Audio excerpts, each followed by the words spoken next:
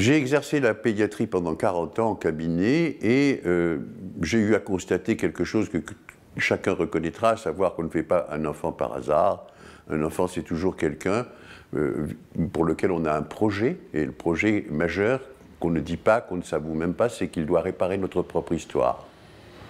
Si bien que ce que j'ai constaté au cours de mon exercice de pédiatre, c'est que la venue de l'enfant va créer au niveau des parents des tensions. Et ces tensions sont multiples.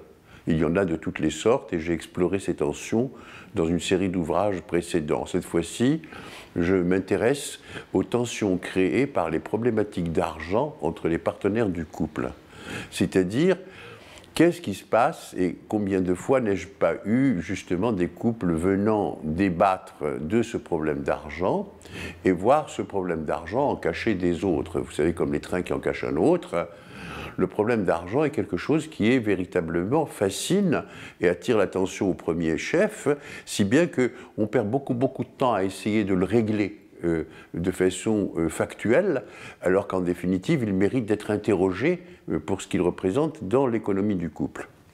Et là, euh, en gros, euh, j'ai donc essayé de comprendre ce qu'il en était, puisque de toutes les façons, l'argent, c'est un moyen d'échange. En définitive, il s'inscrit parfaitement dans la relation de couple, qui est une relation d'échange.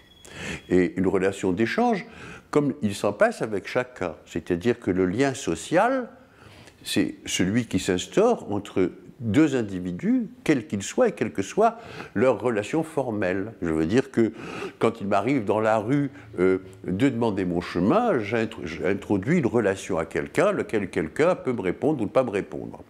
Eh bien, on s'aperçoit, quand on regarde un petit peu ce qu'il en est de l'histoire de l'humanité, que les sociétés ne se sont construites que d'une seule façon, c'est que dans un échange, il puisse y avoir deux individus qui, dans l'échange, vont être tous les deux gagnants. C'est-à-dire, c'est euh, justement, euh, chacun fait quand quelqu'un fait un don, l'autre fait un contre-don. Et nous sommes là dans une thématique qui est la thématique qui a mené euh, l'espèce animale qui était l'espèce humaine à l'espèce qu'elle est aujourd'hui, c'est-à-dire une espèce qui, au moins, a acquis la technicité, sinon une civilisation suffisamment profonde pour nous rendre tous heureux?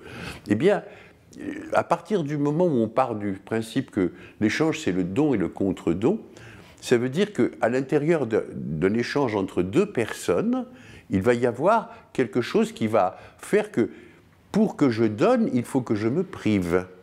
Pour que l'autre me donne, il faut qu'il se prive. C'est-à-dire que nous allons rentrer dans un système transactionnel. Et ce système transactionnel va faire que chacun de nous deux va être gagnant. Ça, c'est excellent et c'est ce qui se passe dans les couples pour que ces couples durent. C'est-à-dire la durée d'un couple est toujours une question de volonté, c'est-à-dire d'état d'esprit. Si jamais je constitue couple en ne pensant qu'à moi-même, sans penser éventuellement que l'autre existe et que je dois lui donner quelque chose, ce qui est l'idéologie actuelle de l'individualisme, ben précisément ça pose d'énormes problèmes, parce que personne n'accepte d'être perdant. Tout le monde veut être gagnant. Eh bien, à partir d'une réflexion comme celle-là, j'ai regardé ce qu'il en était justement de ce que faisait l'argent. Et pourquoi est-ce que cette histoire d'argent est une histoire actuelle? Pour une raison simple, c'est que ces problèmes d'argent ne se posaient pas de façon aussi aiguë, et surtout pas de la façon dont ils se posent aujourd'hui, il y a un siècle, par exemple. Pourquoi? Eh bien tout simplement parce qu'il y a un siècle, les, les couples était toujours dans la même logique qui a, qui, a, qui a, mis en place les couples il y a 15 000 ans. C'est-à-dire, quand les couples se sont fabriqués il y a 15 000 ans, les femmes qui procréaient restaient auprès des enfants pour que, euh, pour, parce que les enfants avaient besoin des soins qu'elles leur apportaient, et les hommes allaient quérir ce qu'il fallait pour nourrir euh, la, la, mère et les enfants, et eux-mêmes. Donc il y avait quelque chose comme ça qui était un partage des tâches. Ce partage des tâches a duré jusqu'à une période extrêmement récente, c'est-à-dire jusqu'à à peine il y a un peu plus de 50 ans. Qu'est-ce qui s'est passé il y a 50 ans? Il y a 50 ans, les femmes sont rentrées sur le marché du travail. Les couples se forment, pour 80% des cas aujourd'hui, avec deux revenus. Et ces deux revenus euh, ne vont pas être traités de la même manière dans tous les cas de figure. C'est-à-dire que Et c'est l'expérience de, terrain, c'est-à-dire c'est l'expérience du pédiatre que je suis, de celui qui a rencontré des milliers de familles.